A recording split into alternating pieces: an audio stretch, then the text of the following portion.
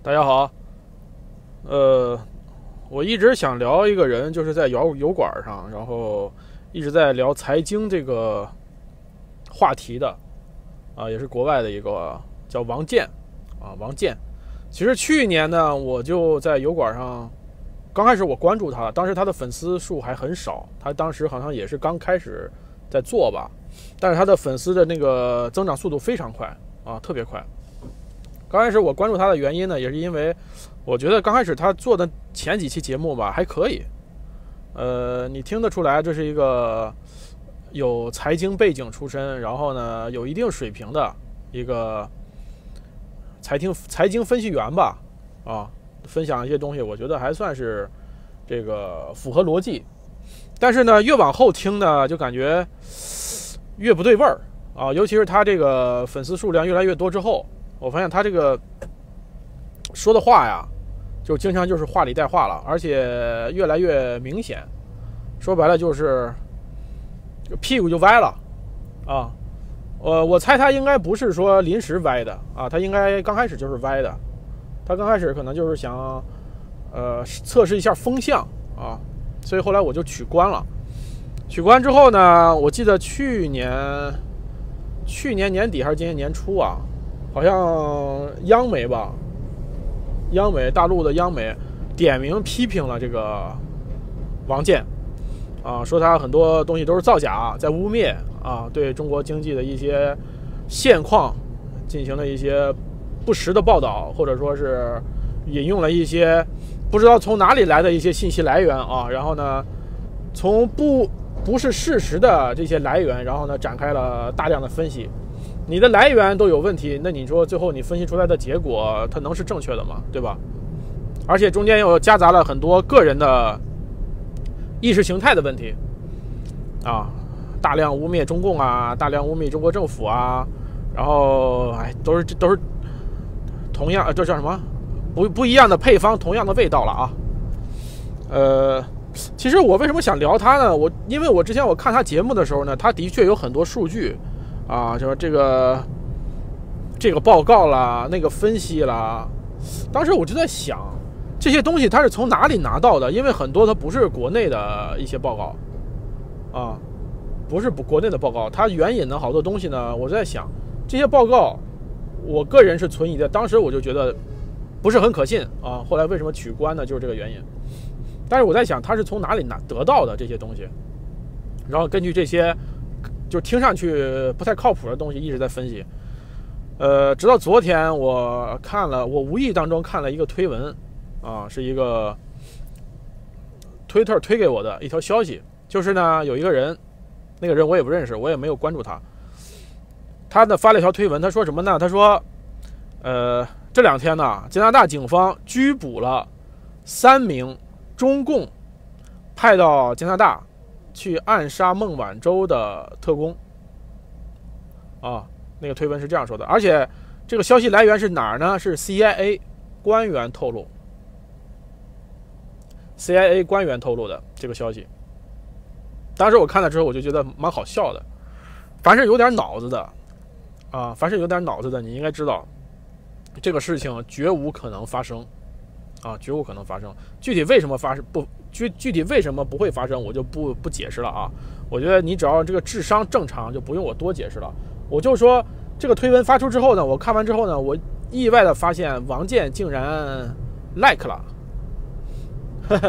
他转推没转推我没注意，但是但是他的确是 like 了啊！我看到那个列表里有他啊。当时我就有点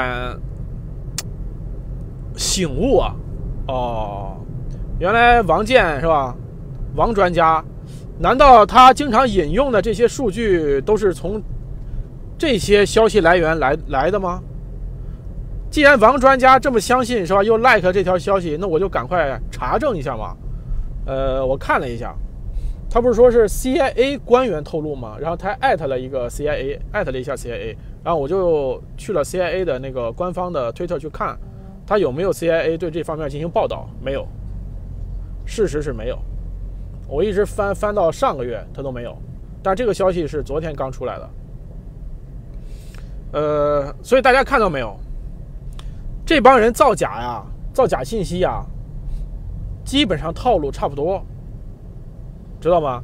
要不就是说 CIA 官员透露，他也不是说 CIA 哪个官员，他也没说什么时候透露，啊，据传，要不就是据内部人士消息，啊，都是都是那个以一个什么比较敏感的部门，啊，然后呢，看似很神秘的人物传出的这些风声。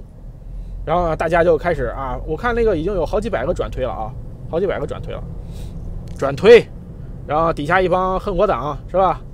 呃，轮子在下面又兴奋了，又高潮了，说你看啊，中共就是做这这种什么卸磨杀驴的事儿是吧？利用完孟孟晚舟，现在要那个杀人灭口了，干嘛干嘛的？哇，一个一个说的跟真的一样，啊，集体又高潮了，呃。我觉得真正有智商的啊，你哪怕你是轮子也好，或者是你是恨国党也好，其实他也不一定内心相信，他是宁愿相信这是一个真的，但是他不在乎这个具体是不是真的。所以我就说嘛，就像王健这样顶着一个财经专家，在油管上天天给你叭叭叭叭叭，是吧？天天在这煽火的这个这这这种这类人呢，你既然分析财经，你就要有数字。对吧？你就要有信息来源。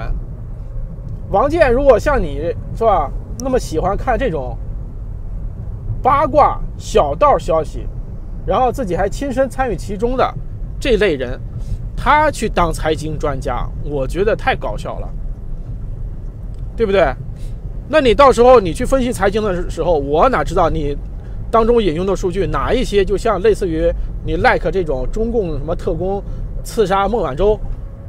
像类似于这种消息呢，你从哪里扒过来的，还是你自己捏造的呢？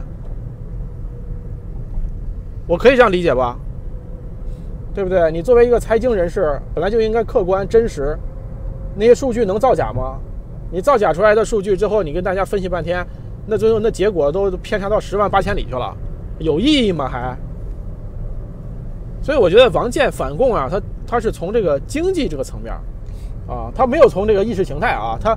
你看他的这个那个油管那频道，他所说的他很少带意识形态，他就是从经济这个层面反共，啊，经济这个层面，他又指出中国经济不行了，啊，中国经济不行的原因是谁？那因原因是什么呢？大家自己去想，那肯定就是因为中国共产党领导的不好嘛，对不对？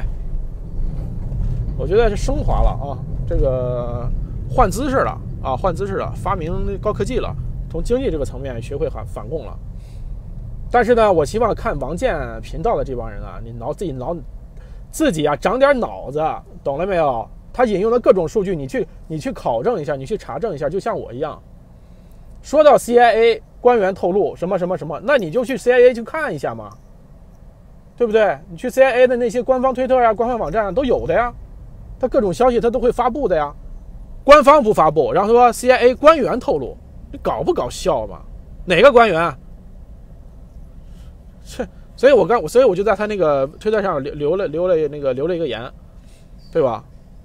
真是搞笑死了，帮帮他妈当大家他妈都是他妈傻蛋呢，哎，还真的有那么多傻蛋，没办法，还是那句话啊，傻子太多了，骗子不够用。